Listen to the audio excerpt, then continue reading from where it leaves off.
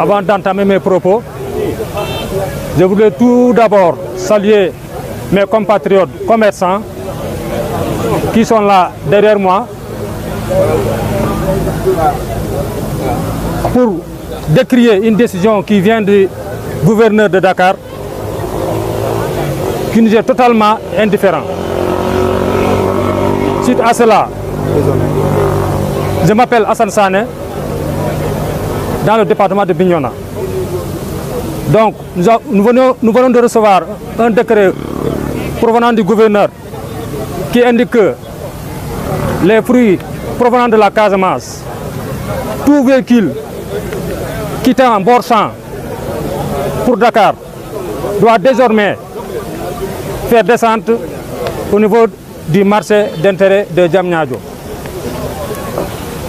Donc nous estimons que cette décision ne nous arrange pas. Car c'est une décision qui provoque des dégâts collatéraux. Parce que ça sent tout véhicule qui vient de la Casamance.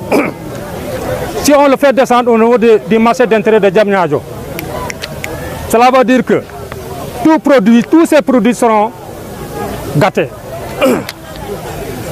Parce qu'il est- il n'est pas possible que tous ces prix puissent se vendre dans ce marché-là. Donc, nous montrons notre désaccord face à cette décision.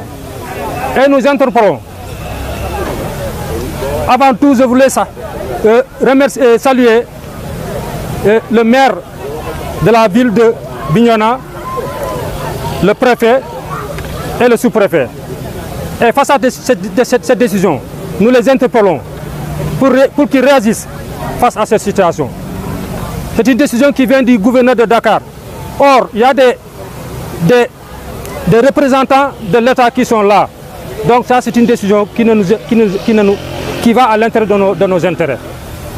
C'est une décision qui va à l'intérieur de nos, intérêts parce que nous ne sommes pas dans le modernisme. Au Sénégal, ici, nous ne sommes pas à ce niveau-là. Nous nous cueillons des fruits directement à Borsan. Nous ne pouvons pas mettre ces fruits-là au niveau d'un chambre froide ou quoi que ce soit. Et tout ça va amener comme des difficultés. La difficulté est que, les- que ce soit les mangues, les oranges, les citrons et autres choses, on ne peut pas les mettre directement dans des chambres froides. Nous, nous travaillons directement avec nos collègues qui sont dans les marchés. Ce n'est pas au niveau de Dakar seulement. Il y a des camions qui quittent ici pour aller à Dakar, pour aller à Kaolack, pour aller à Djuro, pour aller à Saint-Louis, un peu partout. Donc s'ils veulent nous imposer que ces camions qui viennent de, la Casamance puissent aller directement au niveau de, de cela ne nous arrange pas. Or, ça, ça, ça, ça détruit les fruits. Ça détruit la manière dont nous chargeons nos bagages. On ne peut pas faire descendre des fruits à, à et les faire recharger encore à d'autres marchés. Cela ne nous arrange pas. Non seulement parce que ceux qui gagnent, ceux qui gagnent, on ne peut pas les compter. Au niveau de Dakar, au niveau des marchés, il y a des, il y a des gens qui, qui sont là, qui, nous- qui travaillent avec nous. Des milliers de personnes, des pères de famille. Au niveau de la Casamance, au niveau de la brousse, il y a des gens et des jeunes qui travaillent sur ça. Donc, s'ils veulent nous imposer, non seulement ici, ils vont détruire tout ce que nous faisons, même à Dakar, ils vont détruire parce que nous avons des représentants au niveau de tous ces marchés-là.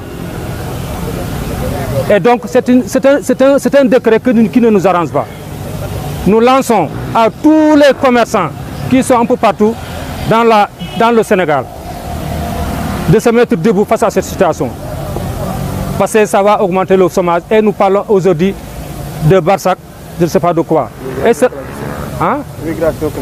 Immigration. Et ça, si cette décision persiste, ça va accentuer cette immigration. Et nous, nous ne voulons pas cela. Donc nous demandons au gouverneur de, de revenir et de revoir sa copie et discuter avec les concernés. Donc face à cela, il y a beaucoup de choses que nous entreprenons l'État du Sénégal. Comme quoi?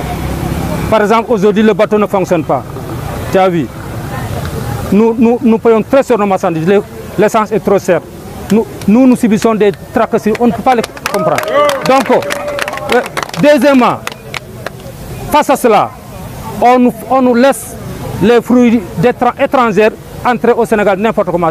Ça aussi, c'est un autre cas que nous sollicitons l'État du Sénégal pour qu'il voit cette, sa, copie et faire quelque chose. Parce que ici, dans la, dans, dans, dans la région de la Casamance, un peu partout, les fruits qui sont là, nous pouvons les vendre ici.